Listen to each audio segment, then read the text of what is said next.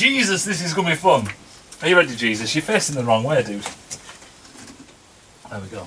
You got fucking cobweb on you, scruffy bastard. Oh my god. Are we ready? I'm ready. It is working though. I'm cutting down the nicotine. It's awesome. About time I give up that shit. My name is Matt. Welcome back to the shop. And today we are talking about. I'm going to be drinking all the way through this. It is fucking steaming hot. It is hotter than a badger's badger. It is. It's the humidity. I fucking hate this country. Any road. Um, we're going to do this, but you have to forgive me. This is going to be a long one. Um, why not? You know what I mean? Like I said, there's that whacking great big. So this is this episode's. Um, I was trying to actually single out what should be said, but it is so fucking good that I need to read the whole thing. There's nothing I can miss. I might skip one or two bits, but uh, it's too good. It's too good to um, just ignore. So let me just put this on here so that the camera doesn't freak out. Oh, the other thing I missed as well is this is high velocity porting. High velo velocity, dickhead. Velocity porting. Sometimes I can't spell because I'm looking at it at a weird angle. Great excuse. See that cover up? It's not the fact that I'm a, a buffoon. So, a guy. So, this article, so this is the entire page. And this starts off with him saying, uh, Engine Work is the title. It's a guy who sent him an email. It says, Hey Motoman, I'm a racer for the WMRA, Washington and Oregon, USA, racing organisation. I am one of the top competitors in the Northwest, uh, but I've been pl plagued with under horsepower machines. Now this sounds a bit ropey, does this? This doesn't sound like a guy who does racing exactly what he would say. You know, it, but anyway, I always think that he's cherry picking these emails. I've watched um, tune competitors such as Alan Schmidt, Dave Cook kick ass down the straights, and quite frankly, I am sick of it. For a 2002 season, I wanted to be able to be competitive down the straights, but not just the um, not just the corners. I have seen what your motors have done on, out on the track, so there is no question on who I would like to build my motors. I need just a few quick questions and answers. How much does it cost to rebuild a motor? How much does the uh, cost to ship the motor? Uh, what kind of frame do you need? Uh, what horsepower you're getting out of the new GSX-R 750? If I purchase another bike and have two motors for me, is there a price saving slash information question mark? That was from Mark, and then he states, and this is just fucking gold. I'm going to be crying. I've read this twice now. I went through it as quick as possible, and you just stop and have to take a breath and have to go downstairs and you know have a have a fag or something. It's just it's just brilliant. Thanks for the awesome testimonial for MotoTune. I originally started MotoTune USA website back in late 1999 to promote MotoTune, my engine building business. In the past year, the website has really taken off, and recently I've had over 900 emails from people who wanted me to build their engines. It would take me 30 years to build that many motors.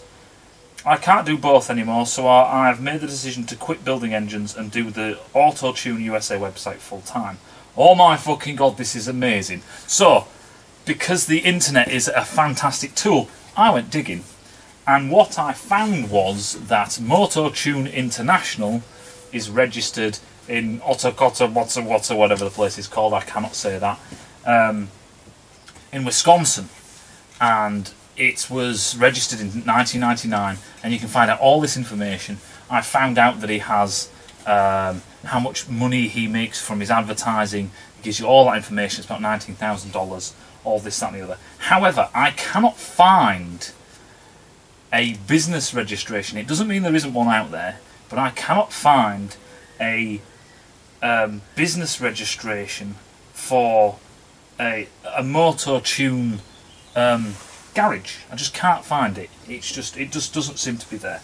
Anyway, when you look further, he gives his name in this comment. It's uh, Pat McGivern, and he goes on about his success and all the rest of it. and I actually found the um, race results from a race in, 19, in 1994, and I wrote all this out. Um, in 1994, which I'm sure he probably doesn't realise is still there. And the strange thing was, was that he was, he actually, he is actually down as one of the racers, and he finished 14th, 17th, 19th, and 20th. This is in 1994. It was Grattan Raceway, and it was August the 27th, 28th, 1994.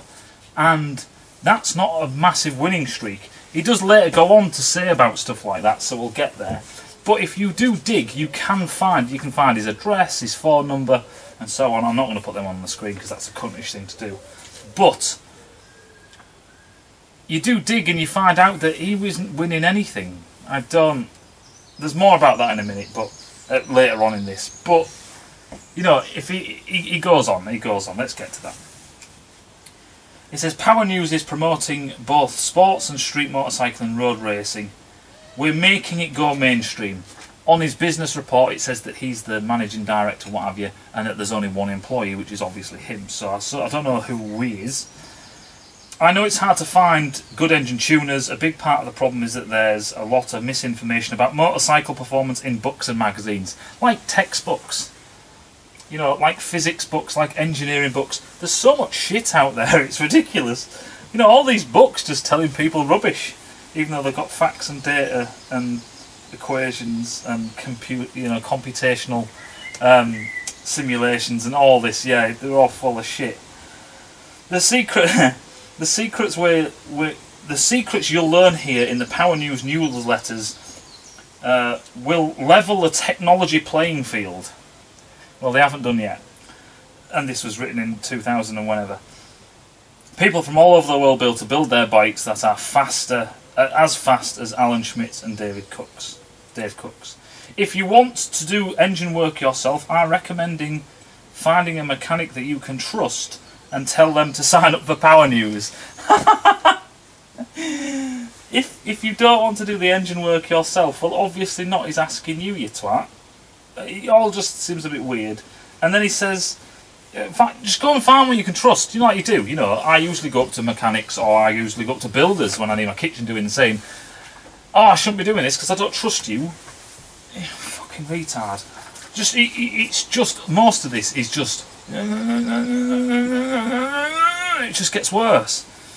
Hey Motoman, awesome site packed with great information. I've got a new GSXR 1000 and I have to admit I'm a little skeptical, skeptical about the braking procedure, although it does make sense. Well, this guy needs to sort his life out. How can you be skeptical and then it makes sense? That doesn't make sense. What you mean to say is, I don't know enough, but some of this seems like it could be plausible, it could be true.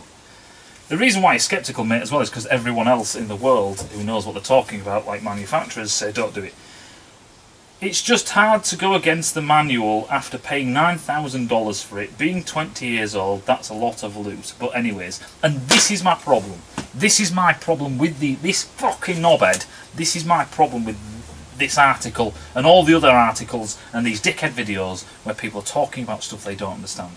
The fact of the matter is, you've got a, a, guy with a brand new GSX R 1000 here. He's only 20 years old, cost him $9,000. The manual is telling one thing, and he's on here, number one, saying that he's on the fence. Number two, he's now about to be led astray. That's the problem. That, and then here's, here's twat features. Um, Hi Corey, thanks for the high rating. It's true, my breaking secrets method is definitely the way to get more power and best and best ring seal for your new Suzuki. Straight away. Fucked it. A word of warning. Everything you are going to read on Power News is hard to believe and will tend to make you skeptical. oh shit. You know how you get that? You know you got the doctors and you got your arm and it's fucking minging and hanging off and then you got the doctor. What's wrong? He says you've got an infection. You go, Hmm, that's hard to believe. That's quite skeptical. I'm quite skeptical about that. I always thought it was an ingrowing toenail. You know, what the fuck is he, he's kind of like he's lining up his own bullshit. You are not going to believe what I'm going to tell you, but that's not as in, wow, that's amazing. That's literally, you're not going to believe it, because even I know it's bullshit. Any road. The way MotoTune has been able, I love how he says the way MotoTune, like it's this big race team, this big conglomerate of like 50 engineers. The way MotoTune has been able to beat the performance of the factory racing teams, I fucking love this. I just look, he says it an awful lot in this rubbish, and it's just amazing. I'm, I'm beating, I'm beating Suzuki. Now, it doesn't mean that you can't do it. It doesn't mean it's impossible. But with all their money back in engineers, degrees, and all sorts hanging out their asses, and the fact that they built the engine in the first place. I mean, you talk about race team, you're not manufacturers. When you build manufacturers, it's mass produced. You know, it's when people do blueprinting and stuff like that. It is what it is. It is a man, mass manufactured machine, and you can get more out of it. Just look at World Superbike. But when you're talking about being competitive against other teams in your garage, if he has one, uh, any road, oh, was to do everything different than the others do it. Well, when you do everything different than the others do it, this is like um, swimming.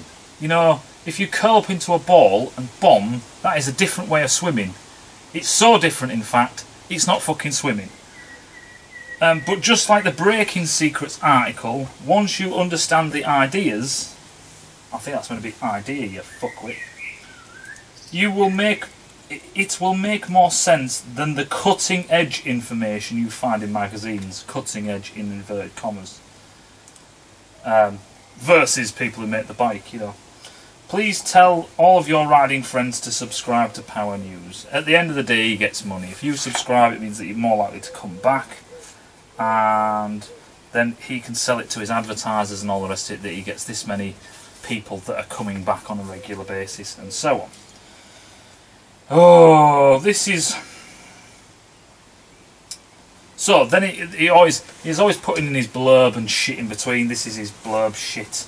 MotoTune US fans, this is just one part of an ongoing tech series available for free to Power News subscribers. I'd like to invite you to become a Power News subscriber. Upon signing up, you'll immediately receive the secret links. Secret on the internet like all the files that are, all the files that are in the filing cabinets and vaults and safes at the bottom of the Pentagon. You know, it's all secret because it's online. Uh, with photos and instructions on how to high velocity port your own cylinder head. Here, uh, there are also lots more articles that will give new insights improving modern high performance. It's improving modern high performance. It's funny when it just says high performance and improving. It's not that they can't be, but not by a fuckwit like this. It's free, just fill in your email and sign up. And the reason why I want your email is so then they can just fucking spam the shit out of you with Viagra pills and fucking God knows what. Any road. So this is the juicy part. Now he's now he's started off with his own bragging. It's like if people agree with you, it then fills you with confidence to talk more shit you know, it's it's great. Let's go for it. so now we're getting into it. This is awesome. Uh, misinformation. So, oh no, this is this is one last one. This is great. This, this is before we kick off. This is a guy who was sent in an email, and we're going to talk about this in a second. But let me just get through it first. Misinformation. This is what this guy says. It says seven uh, seven hundred fifty six thousand two hundred twenty to one. At the time this article was written in late 2001, when you type the words intake porting into the Alta Vista search engine, you'll find an incredible 7,500, uh, 756,220 pages relating to this topic. Every one of those pages will every one of those pages will tell you the exact opposite of what I'm teaching you today, on what I'm going to teach you today. The odds are overwhelming against Motoman on this one. That's over. Three quarters of a million against one. So actually, he's. I thought this was someone writing this to him. This is what he's written. He's saying that he's pointing out that three quarters of a million pages versus his one are telling people to do the opposite of what he's about to tell you. Now he thinks that makes him stand out like a martyr and that he's amazing and that there's the system and them are against you. To me, that just screams out. You know, oh, you just want to fucking strangle him. It screams out, you're an idiot. You know what I mean? It's just. That's not including another zillion books, magazines, and other tuners. Well, seeing as though you're saying that they're other tuners, that means that they make a business and have a business out of tuning engines. So they're making less power and less rideable and less efficient engines, and everyone's just falling for it. Engines are getting worse by all accounts, by what it's saying. Any road, let's get to it. The Honda Hawk experiment. In January of in January of 2000, uh, 1992, Jesus Christ. In January 1992, I first studied the effects of uh, porting on my race bikes and made a huge discovery. I first studied the effects of porting. So basically, what you're fucking around practicing. It works so well. Are you ready? It works so well after one summer of working on other people's bikes. I could show up to the local racetrack in August with nose practice and easy race wins. Now I've had a look through these race wins and if you've got, even on his site, he's got a list of all. Fucking hell. Even on his list, even on his site, he's got a list of all these names and people that he used to hang around with and ride with in his local in his local competitions in and around his state. And what the way it works is is that you generally have their position. So it'll say like seventh. It will then have laps. And it's usually a lot out of 25 so it'll say 25 how many laps were completed? It'll then say um, the brand. So it'll say like Honda. It'll say Hon like that. And then it'll say size. So it'll say 600 and then what it has it has the name of the rider here. Has the name of the rider. And then in small letters here it has who was associated with that red line um, Suzuki race team or something, and all these, in a sense, hillbilly race teams and all the rest of it, which is fine. You know, this is amateur cup. You know, these are, uh, you know, clubman championships and all the rest of it, which is fine. You know, um, you know, they're, great fun and all the rest of it. So what you do is, is if you go onto his site and you press uh, Control and F. Um, then you come up with your find, you know, your search. So you type in his name, or you type in Moto Tune, uh, yeah, Moto Tune, sorry. If you type in Moto Tune, or, or his name, you put Pat McGivern in, you can search down the list of every instance of where it's, you know, listed. And the one with his name on was the best was 14th place. This is in 1994. So he states here, in January 1992, I could show up to a local racetrack event in August, so August of 1992, with no practice and easy win races. But when I look in August in 1994, it's 14th place. 14th place, and it's 24 laps out of 25, i.e., he was lapped. He was so good, and he was on a Honda 600, and he starts going on about Yamaha. We'll get to that in a minute. but it, it, these these lists, these tables are on his own website. It doesn't make any sense. It's like he doesn't highlight them. It's almost like he's like, look, look, these are the guys I hang around with. Don't look into it too much, and people won't look into it too much. They'll just take me for granted. But um, yeah, there's there's no correlation to what he's saying. Win races, there is no winning races. And you did uh, the, the, GTO solo race 23 laps, finished 20th out of 25 laps on a Honda 600. 20th place. 23 laps out of 25. He was either lapped twice or he just didn't, literally fucking didn't finish the race. It fucking packed up. So he's saying, he's using this to convince you that what he's talking about is real. But where's the results? Even on his own charts and tables on his website that he's pub, that he could fudge he hasn't even fudged them. it makes no sense. Any road. He goes on to say, in da at Daytona in 1993, I was able to test my ideas against the best in America. So it sounds like he's been doing this for a long time now, this high velocity uh, porting. Uh, like every fast Hawk rider at the time, I had a 700cc 3mm oversize, I think, a piston kit, a pipe, I think it literally just means a piece of pipe, and the popular racing cams. My carburetors and everything else inside the engine was stock, except my secret porting trick. Tell us more.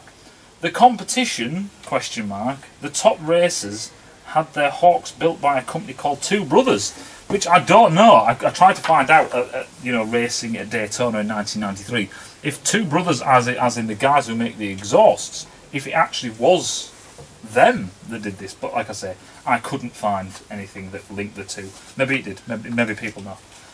Based on their huge success with Hawks, went on to become a semi uh, semi factory Honda race team. So like I say, I don't know enough about Two Brothers if any of that's true. What the fuck is that? And our plane guy hasn't turned up. He turned up earlier, really early. He's a bit fucking sharp today. Maybe he wants to get his flying in done. And maybe he thought I wasn't going to record today. At first I thought he'd crashed.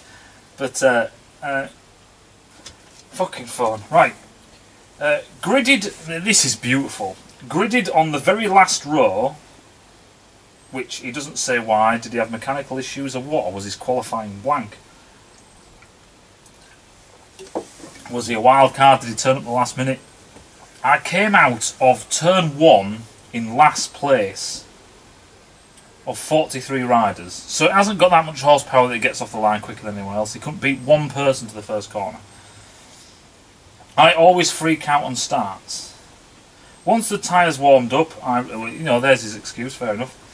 Once the tyres warmed up, I realised I could easily out-accelerate the two brothers' bikes who were at the front. How did you do that? How did you even see them? As well as everyone else in the race. At one point, without using the draft, I passed 11 of my fellow Hawk riders at once on the fastest part of the banking. Bullshit. Bullshit. 11 riders at once on the fastest part of the banking. I don't. Uh, I don't know what to make of that. In the short four lap race, oh, it was a four lap race. I passed 38 riders to take fifth place, expert in my first time at the track. Well, I can't find results for that. Even in your tables, I can't find results for that. So I'm calling bullshit again. Unless someone could, like I say, I've looked. I've I've fucking looked. You know what I mean? Any road. Since then, I've ported about 100 heads for every major brand and type of four-stroke motorcycle. I don't believe that either. Um, you could have done 100 heads quite easily for every single type of manufacturer. That's quite easy to do, but you're talking about every person bringing every single bike manufacturer to you. You know, the majority of them are the big five, you know, and you know, with people bringing you, you know, Husqvarnas and stuff like that. But anyway, well, well, that's that's me just guessing, basically. The result has been um, shattered lap records, countless US road racing championships, and another two in Europe. On the street, I've built a few real sleepers in USA and created a genuine street legend in the Dominican Republic.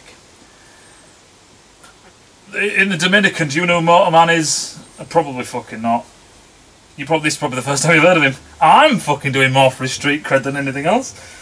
There was no way I could hide the evidence of this porting technique and its amazing results, so I thought for sure that I would be um, only be a matter of months before everyone else caught on. Well, unless they look into the engine, they're not going to know. If it was this incredible wizardry, I was convinced that the advantage of my secret weapon would be over by 2000. Uh, by early 1994. Well, it's weird actually because, like I say, I found your race results from two, um, 1994, and the best one you got was 14, 14th place, and you got lapped. So he then goes on saying it would be over by early 1994. Well, by August, it pretty much had dropped the pants out of it by the look of it. It'd been exactly 10 years since my new since my discovery. You don't discover. You don't discover something it's not like it was hidden under a rock. You know, it's not like I've just found a fucking T Rex skeleton in our back garden. You don't discover it, you fucking retard. You're the one who's supposedly doing the work. It's been exactly 10 years since, since my discovery, and with very few exceptions, no one else has got it. That's because it's a fallacy. That's because it's horseshit. That's because you're just fucking making it up. How could that be? The comments five seconds ago, rewind it. Motorsports are supposed to be the be so ultra competitive that no one can hold an advantage for long. It's not. It's not supposed to be. That's exactly what happens. That's a fact. I know them don't really, you know, sink in that much for you, but it's a fact. With the vast manpower and financial resources of big racing teams, how could one guy from Wisconsin hold on to all the chips for 10 years? One, I haven't seen a fucking race win at all. There's no record of that with any association with you. And number two is, how could one guy from Wisconsin hold on to all the chips for 10 years? You haven't. That's the problem. and what's he mean by 10 years? Unless that's the date of this, you know, has been written. It's just... Uh, Anyway, it made me realise that there were similar situations like this in every endeavour all over the world. Why? Uh, that's why I came up with the motto, get past the cutting edge. Well, you fucking genius. Tell us more. I'm here to tell you that the cutting edge is artificial. what, on a sword? What are you on about, you fucking dickhead? Cutting edge is just a, terminology of saying, you know, the, the, sharp end of the stick, you fucking fool. Oh, for God's sake. It just, yeah. It, it, it's worth it for the comedy, you must admit. And whatever you do, you can beat the best. Yes, doesn't matter, whatever. Whatever you do, you can do fucking anything. I can fill my bike with fucking gravel and it'll go faster because if I believe it enough and if I call it not cutting edge and just believe that I have the secret, then yeah, fill it with gravel, it'll be fine. No one's unbeatable. No one's unbeatable at anything.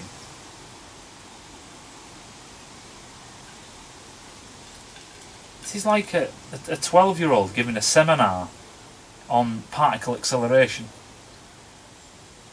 Once you truly understand the power of thinking outside the box, he uses this so much in all of his things. You've got to think outside the box. Well, if I was a quack, panda fucking hugging knobhead, I'd say there is no box.